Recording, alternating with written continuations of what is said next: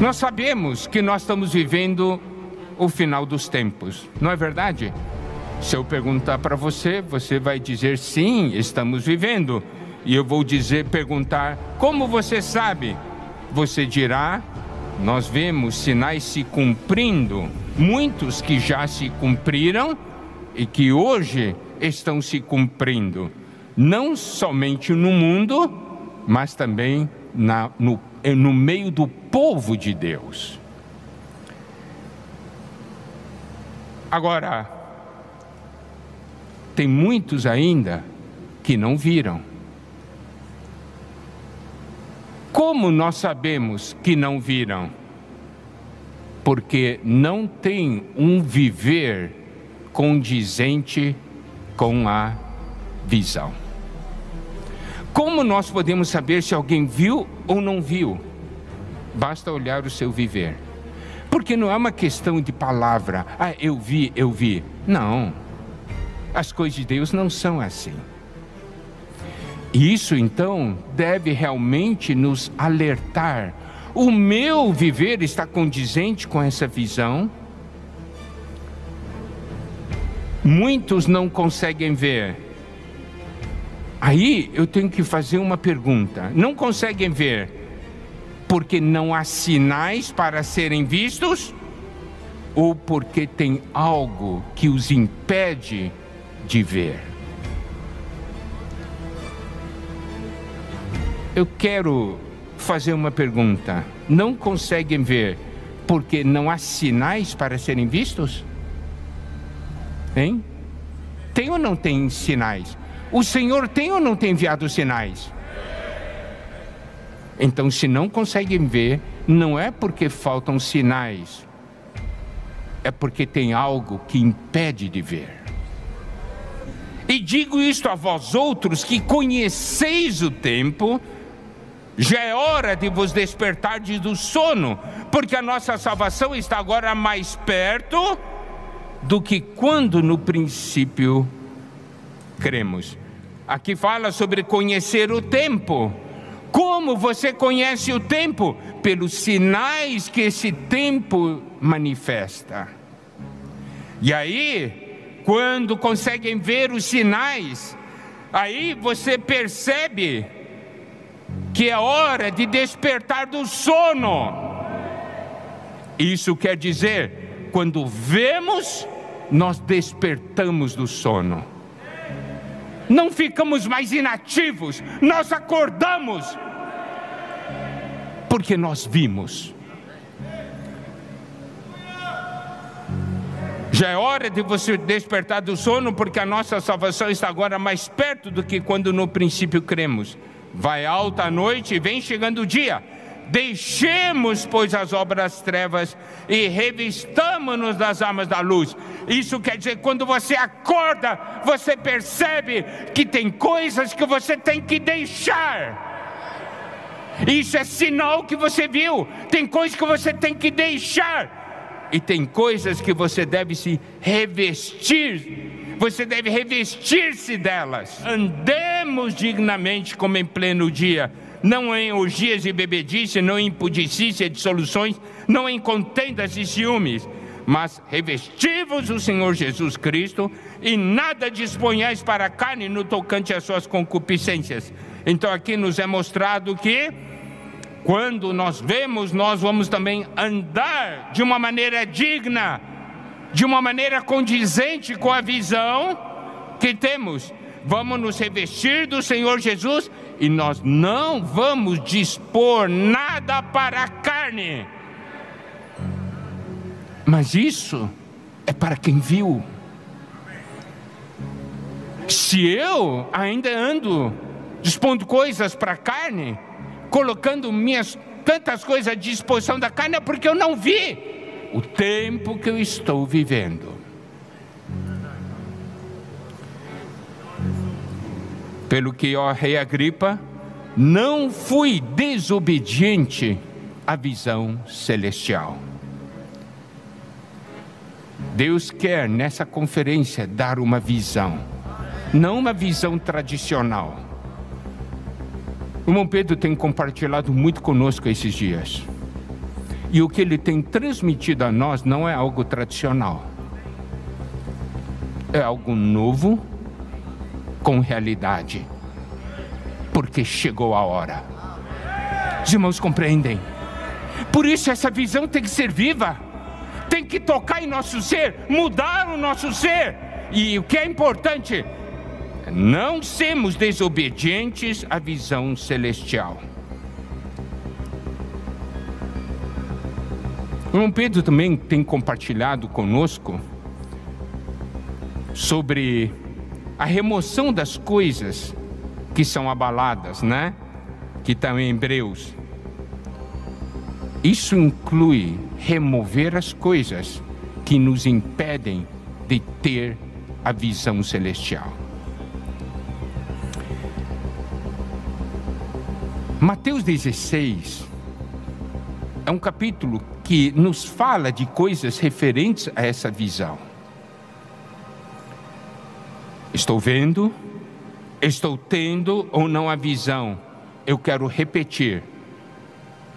Se eu fizer pergunta para você, irmão, você viu? Você sabe de uma coisa? Você não deve responder a mim com palavras da sua boca. Quando fizer pergunta, irmão, você viu? Você tem que responder para mim com o seu viver.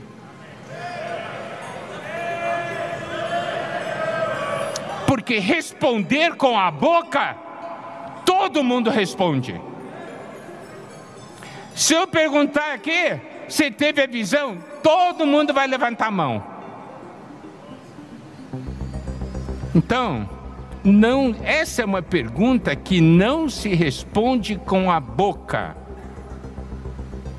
É uma pergunta que se responde com um viver. E é isso que está queimando no coração do Senhor e está sendo transmitido a nós. Você pode dizer, como se manifesta no meu viver? Aproximando-se os fariseus e os saduceus, tentando, pediram-lhe que lhes mostrasse um sinal vindo do céu. Ele, porém, respondeu: Chegada a tarde, dizeis haverá bom tempo, porque o céu está avermelhado, e pela manhã hoje haverá tempestade, porque o céu está de um vermelho sombrio. Sabeis, na verdade, discernir o aspecto do céu, e não podeis discernir os sinais dos tempos. Uma geração má e adúltera pede um sinal, e nenhum sinal lhe será dado senão o de Jonas, e deixando-os, retirou-se. Aqui nós vemos fariseus e saduceus pedindo ao Senhor um sinal vindo do céu. Eu quero lhe fazer uma pergunta. Você também pede isso? Essa pergunta é muito importante. Na verdade, o que aqueles fariseus, saduceus, eles disseram que um sinal vindo do céu, um sinal grande. Algo tremendo, eu quero um sinal muito grande. Mas o Senhor não quis dar um sinal para eles. E saindo os fariseus, puseram-se a discutir com ele e tentando, pediram-lhe um sinal do céu.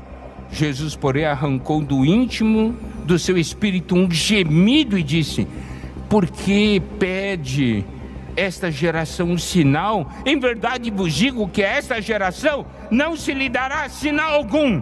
E deixando-os, tornou a embarcar e foi para o outro lado. O Senhor já tinha feito muitos sinais. Muitos sinais. Agora, e apesar do Senhor já ter feito muitos sinais, eles não creram. Eu pergunto, eles não creram por insuficiência de sinais ou não creram porque tinha algo maligno no seu interior? E o Senhor disse: é uma geração má e adúltera. E eu quero agora aplicar isso para as nossas vidas. Eu quero fazer a seguinte pergunta: nesses últimos anos, na vida da igreja, o Senhor mostrou ou não mostrou sinais a nós do seu mover? Mostrou ou não? E eu tenho que acrescentar mais uma pergunta: você está envolvido ou não?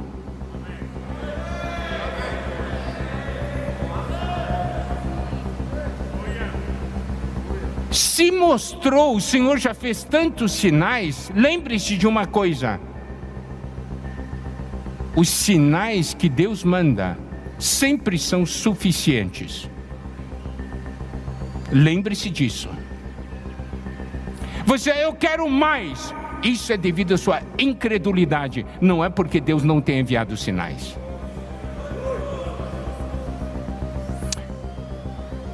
Se com os sinais que Deus envolveu, se os sinais que Deus tem, aliás, emitido a nós, enviado a nós, não são suficientes, porque são sinais na palavra, né? A palavra tem se confirmado, correto? As coisas têm acontecido. E se isso ainda não foi suficiente para nos envolver com o que Deus está fazendo, alguma coisa está errada em nossos corações. Alguma coisa está errada em nosso interior.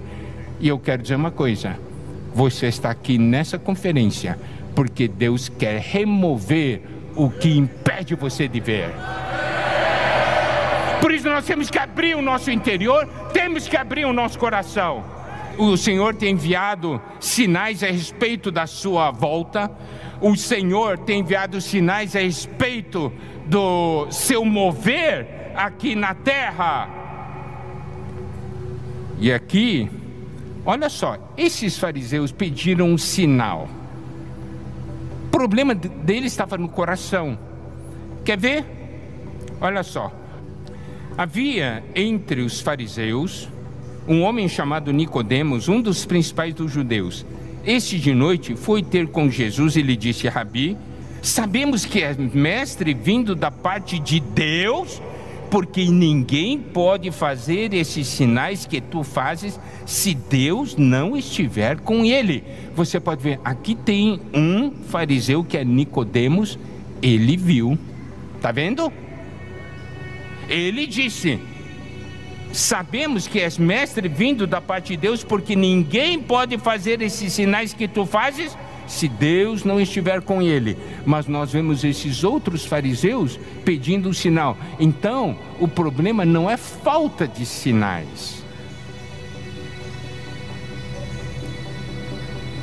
A prova de que eles não viram sinais é porque está pedindo mais um. Olha, eu vou dizer uma coisa, amados irmãos, amadas irmãs. Deus, nessa conferência, está mandando um recado para nós. Eu quero todos vocês participando da edificação. E o Senhor está falando uma coisa: eu estou falando para cada um de vocês. Você é importante para a edificação.